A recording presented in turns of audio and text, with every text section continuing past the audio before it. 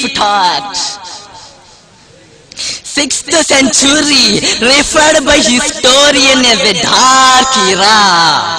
No room for law and justice. Murder and robbery was prevalent. No value for truth and righteousness. Arabs were slaves of alcohol and drugs. Adultery and sex racket were the lifestyle. Person lost personal freedom. Birth of a girl considered a shame and it is buried alive. A totally problematic situation. No room for trust, no value for uh, in front of wealth and popularity.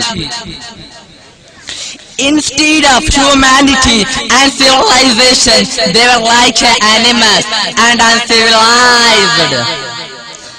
Holy Kaaba was filled with idols. Entire society is used to worship them. When such darkness of the world, word brings a great world leader.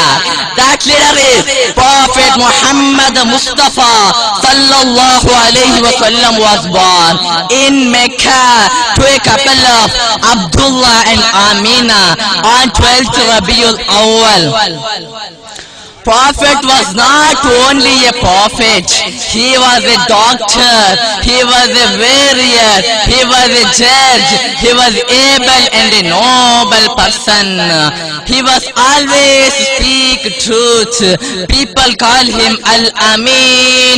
It is the part of our Iman, is to love his path. I thank our ustads, SSF members and other spectators lending your precious time and patiently listening so long. Thank you. Assalamu alaikum wa rahmatullahi wa barakatuh.